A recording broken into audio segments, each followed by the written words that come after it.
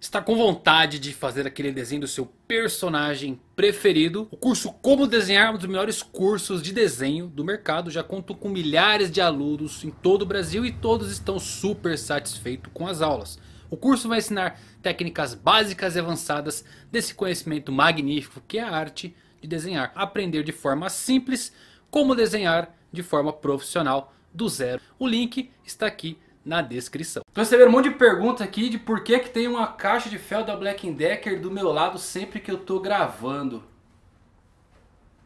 Eu, hein? Que galera doida. Fala galera, Ivandro Fusari com mais um vídeo pra vocês. Como vocês estão? Espero que todos estejam muito bem. Mais um SBS. Perguntas feitas por vocês sanando todas as dúvidas de qualquer anime. Geralmente One Piece predomina, né? Mas vamos lá. Manda sua pergunta pro próximo SBS para aparecer aqui no vídeo. Já está aberta a nova rodada de perguntas. Você pode clicar no link aqui embaixo e ser direcionado para a comunidade do canal. Ou ir direto, só clicar no nome do canal, aba comunidade.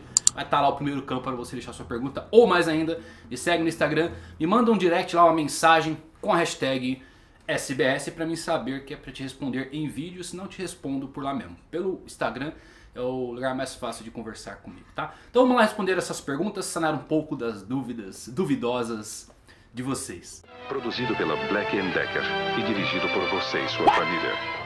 Como vocês sabem, eu sempre começo com a pergunta que tem mais like aqui na comunidade, porque é a pergunta que eu acho que vocês mais gostaram. E começa aqui com a do Lucas. Caso o Luffy não seja o Joy Boy dessa geração, quem você acha ou gostaria que fizesse esse papel?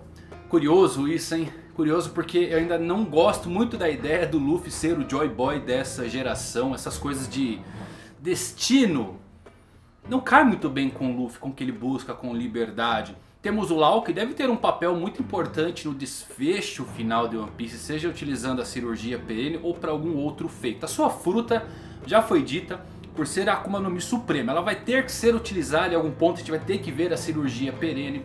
Sobra o Lau, eu acho nesse ponto como uma importância tão grande. Ah, sei lá, um Joy Boy reverso com Barba Negra, eu não gosto muito disso porque o próprio Egard já falou que ele não era o D que o Roger estava esperando. Temos toda essa ligação do clã D com a família Kozuki, pode ser o próprio, não sei, Momonosuke, alguém desse clã. Muitos mistérios. Quem eu acho que poderia ser, que fizesse esse papel para ser o Joy Boy desta geração? Na minha concepção eu acho que Joy Boy pode ser qualquer um dos D, tá? Qualquer um que tenha o D em seu sobrenome. Eu acho que o clã Kozuki tem alguns mistérios por trás da ligação real do D. Talvez eles próprios sejam ali alguma representação do que é esse nome. Tem algum significado ali, Kozuki, a lua, enfim. É, é, difícil eu falar quem que eu queria nesse papel, porque como eu disse, eu não gosto muito de coisas controlando o destino dentro da obra de One Piece, porque vai tudo contra aquela coisa de liberdade, né, do que é ser um pirata. Você tem uma coisa escrita há 800 anos, não sei como Oda vai trabalhar isso. A gente já tem, sei lá, tantas séries aí que mexem com destino, com causalidade e casualidade, como Berserk, por exemplo. É, é uma narrativa que ele pode vir a utilizar, mas Espero que não seja o Luffy, pode ser o Lau. Eu acho que postaria um pouco no Lau, ele vai ter que ter um, uma participação mais especial aí na trama. O Adrian Lins de Araújo mandou uma pergunta muito legal aqui. Vimos que todos que têm Haki de Conquistador têm uma incrível determinação e motivação. Nisso surge a dúvida, qual seria a motivação de Rayleigh? Por que ele seguiu Gold Roger em sua jornada? Realmente o que, que o Ray almejava nesse ponto. Eu acho que surgiu um pouco dessa amizade dos dois. Vimos aquele começo que o Roger, ele não chegou com o intuito de ser o rei dos piratas. Mudou completamente a noção que a gente tinha com esses flashbacks do Oden, porque a gente vê que o Roger definitivamente não era alguém predestinado, alguém que tinha muito conhecimento. Não, ele só era um cara que ele queria causar o, o caos mesmo, tocar o terror dos mares, ser livre. E ele tinha um poder que o Luffy tem hoje, que é o maior poder dos mares, que é o de fazer pessoas passarem para o seu lado. Perfeito? Então o Rey, eu acho que ele não tinha essa ambição é, pessoal de ser o maior espadachim, enfim, acho que a época deles, uma época old school, onde a gente não tinha imperadores, não tinha reis, não tinha nada, a gente tinha lutas contra os tabus do mundo, como o próprio Zebek, que queria se tornar o rei do mundo. Não tinha rei dos piratas, não tinha Yonko, não tinha nada. Eu acho que o Rey seguia o Roger porque simplesmente o Roger era o seu farol, era o seu grande amigo, era a sua direção, ele daria a vida por tudo. Então tinha toda essa simbiose, por isso ele é chamado o Rei das Trevas. Ele tinha ambição, ele tinha a determinação sim de se tornar Rei dos Piratas. Ele poderia ser o capitão daquele navio. Mas ele era o Rei das Trevas porque ele estava sempre à sombra de Roger. Enquanto o Roger ficava bebendo ali, louco, era ele que cuidava de todo o navio. Então acho que a ambição dele é justamente isso, era virar o mundo de cabeça para baixo com seu grande amigo Roger. Som Victor perguntou aqui se o despertar da Gomu Gomu está próximo. Eu acho que está mais próximo do que a gente imagina. Eu só estou na dúvida do que vem antes. A próxima marcha ou o despertar da sua fruta. Eu acho que ainda deve ter algumas transformações talvez inéditas aqui na quarta marcha.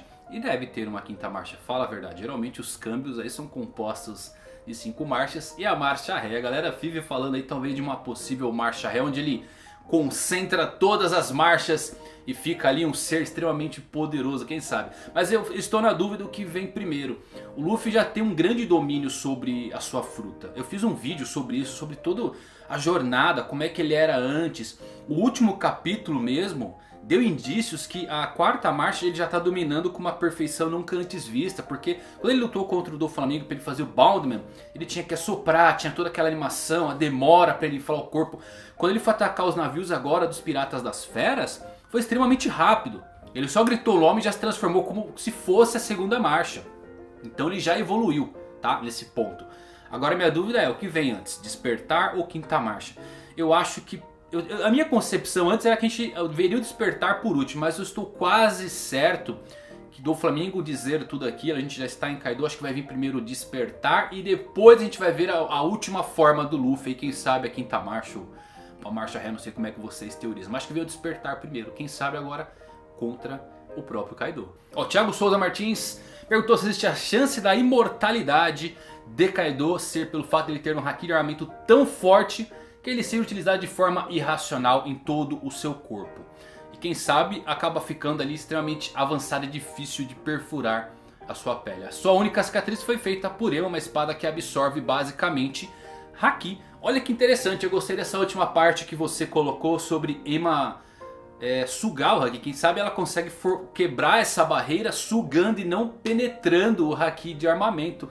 Um ponto curioso e interessante precisamos saber se existe essa possibilidade na lâmina da Ema. Respondendo a sua pergunta anterior sobre a imortalidade dele, eu acho que está diretamente ligado à sua forma dracônica, né? porque nas lendas os dragões são imortais por conta de suas escamas. Quem aí, por exemplo, não jogou Dark Souls, que tinha a Era dos Dragões e os dragões eram imortais e descobriram que para acabar com os dragões era preciso remover as suas escamas. O seu ponto fraco era isso. Então basicamente o Kaido tem uma... Se for, não foi confirmado ainda, mas se for mesmo uma Zoan lendária daquela do dragão...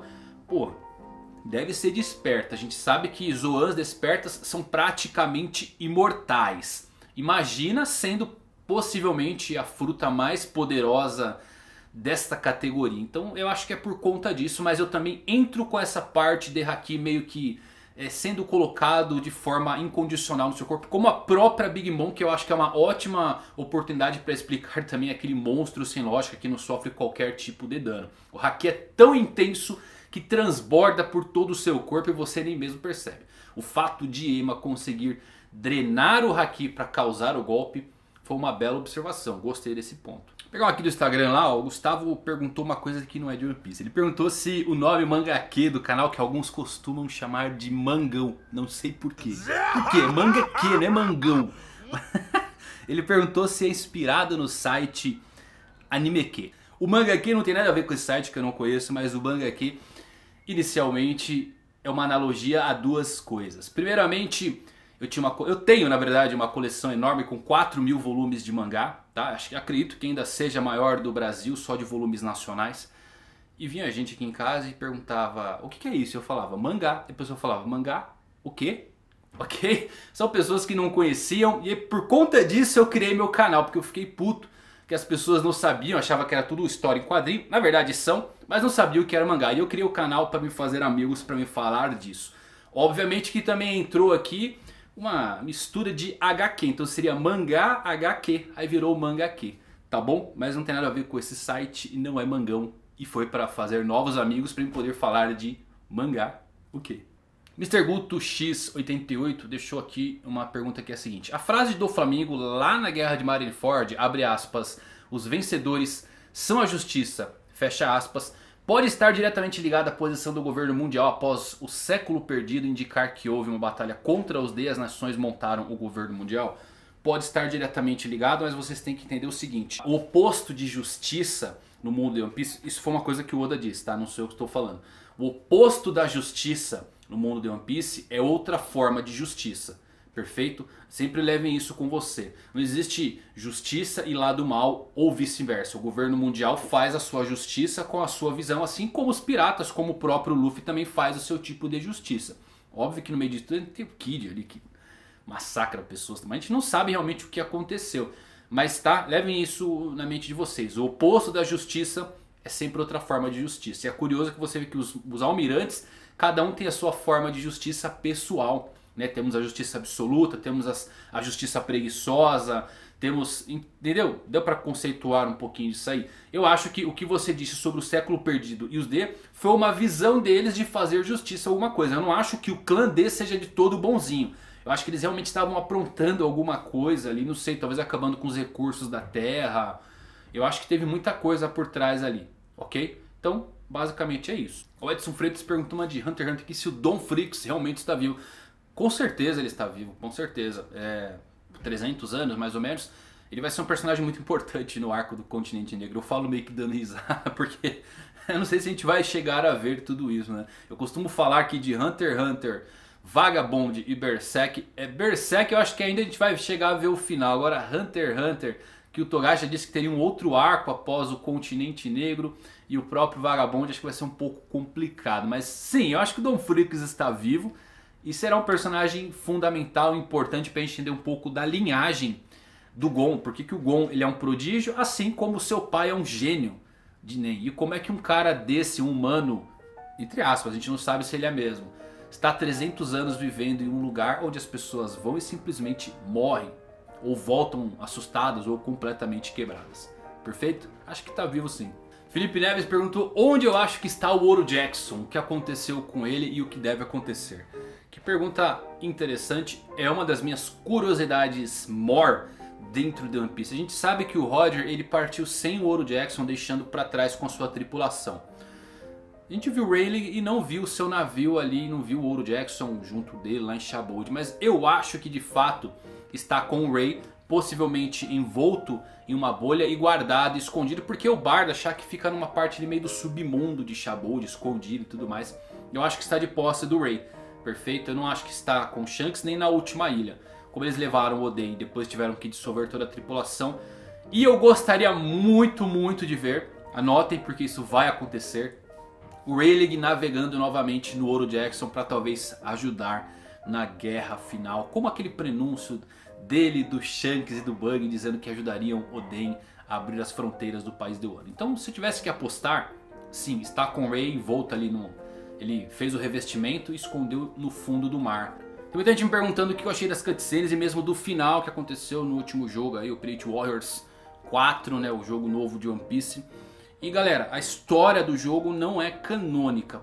Pode ter possíveis spoilers? Pode, mas é aquela coisa. São previsões feitas pela equipe de produção. O Oda nunca daria spoilers da sua obra, uma coisa que não foi escrita ainda em um jogo. Perfeito? Pode acontecer aquelas coisas? Pode, mas foi puramente sorte. Foi puramente previsão ali. Talvez eles tenham puxado alguma coisinha ou outra, mas o Oda ele não está diretamente envolvido na composição de roteiro e história desses jogos. Mesmo assim tem umas coisas muito legais ali que eu adoraria ver acontecer sim. Né? O hype levanta, principalmente quando você vê as cenas ali do confronto dos imperadores, Katakuri, a grande frota, Barto, enfim. Ok? Então levem isso, não é canônico. Pode acontecer? Pode, mas foi, sei lá, cara ou coroa. 50% de chance de acontecer aquilo lá, mas não definitivamente porque o Oda colocou no jogo como spoiler para você. Thorfinn perguntou se o Garou pode atingir o nível de ameaça God Deus no mangá de One Punch Man? Eu acho que definitivamente não. Eu acho que o nível de ameaça Deus vai ser restrita somente ao último inimigo da série. A gente tem o Boros e vai ter o Garou Desperto como as maiores ameaças que a gente vai ter visto no mundo de One Punch Man. Só que eles são ditos como sendo é, acima de dragão, né? Above Dragon. Então eles estão acima de dragão. E a gente sabe que esse, essa forma de catalogar os monstros está um pouco desconexa ali pela associação dos heróis. Eu acho que eles vão ficar nisso, acima de dragão, mas não necessariamente um nível de ameaça Deus. Perfeito? Eu acho que vai ser restrito somente ao último inimigo da série, que pode ser, quem sabe, o próprio Saitama, o nível de ameaça a Deus. Seria fantástico, fala a verdade. O William Gustavo mandou aqui ó, bem legal, um tanto quanto difícil de responder, mas eu acho que eu tenho uma resposta para ela. O soco do Elisabelo King Punch é capaz de derrotar o Imperador segundo as lendas e a barreira do Barto parou esse golpe. Sendo assim, essa barreira suporta um golpe direto de um Imperador? E a minha resposta para isso é que sim, tá? Acho que essa barreira ela é inquebrável, ela é indestrutível. Uma barreira que se quebra não serviria para ser uma barreira, perfeito? Então Definitivamente sim. Eu acho que pode ultrapassar a barreira é o Haki avançado. Que a gente vê o Luffy treinando ali, que ele conseguiu destruir de dentro para fora. Então o Barto não seria completamente invencível. A Alicia Raster perguntou aqui se seria possível que o Fruto do Tempo esteja com Hiyori como um legado da sua mãe. Tem uma possibilidade, mas a gente não viu ainda ela utilizando. A gente já se viu ela em perigo em alguns momentos e a Toque quando estava em perigo ela saltava no tempo. E ela não fez isso. Ela poderia, sei lá, ter pulado no tempo 20 anos para o futuro para reencontrar os retentores, ou seu irmão e tudo mais, ou levado o Denjiro junto. Eu acho que não está com ela. Eu acho que se essa fruta, se a Toki não morreu, porque a gente não viu ela de fato morrendo, está um pouco obscuro isso.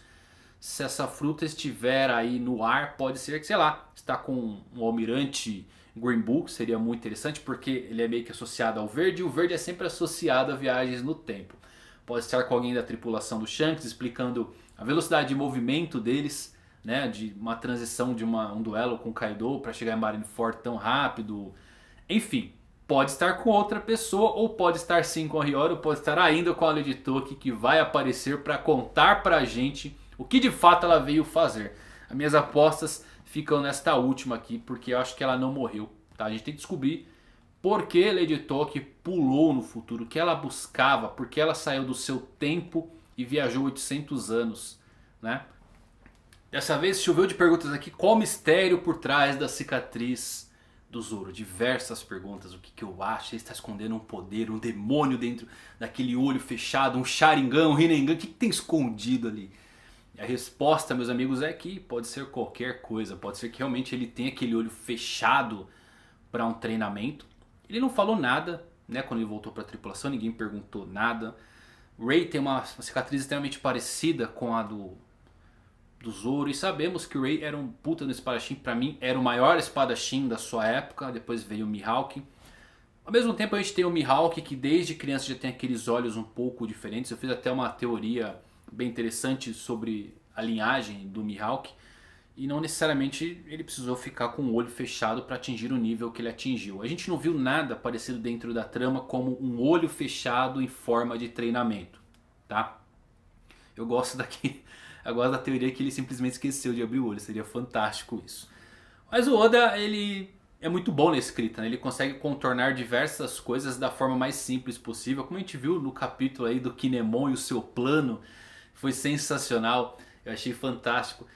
Pode ser sim que seja uma forma de treinamento, pode ser que ele tenha alguma coisa escondido, pode ser que ele esteja concentrando um haki completamente novo ali dentro daquele olho, pode ser a forma de Ashura, né? Porque os olhos geralmente são a entrada da alma, pelo que dizem, né? Então, porra, eu acho que deve ter alguma coisa. O Oda fechou só aquele olho meramente para mostrar que ele ficou mais durão, poderia ter colocado uma outra coisa, sei lá, um tapa-olho, porque ele já disse que tem que aparecer um pirata com tapa-olho e perna de pau na série. Vai ser o Zoro? Por que, que ele está sempre com o olho fechado? Por que não tapa-olho? Seria fantástico a gente ver isso. Então, para mim, o mistério grande do olho do Zoro, por enquanto, né, no meu canon, é que sim, tem alguma coisa, tem um mistério relacionado a poder por trás daquele olho fechado. Mas, como eu disse, pode ser simplesmente que ele esqueceu de abrir. Mas e você? O que você acha? Qual o mistério do olho do Zoro?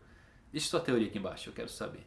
Galera, é isso. Espero que vocês tenham se divertido, sanado um pouco as dúvidas de vocês. Me desculpa por não conseguir ler todas as perguntas. Mais de mil, sei lá, tantas perguntas aí. Vou ver se faço uma live a gente bate um papo converso um pouco mais e tiro todas essas dúvidas. Fico muito feliz que vocês participaram. Mandem novamente, uma hora sai a tua pergunta aqui. E outra, se eu não respondi sua pergunta aqui, é só me chamar lá no Instagram lá que eu respondo vocês por lá. Perfeito? Eu demoro, tardo, mas não falho. Galera, é isso. Muito obrigado por terem assistido. Fiquem ligados, meus amigos. Até os próximos vídeos. Valeu e fui.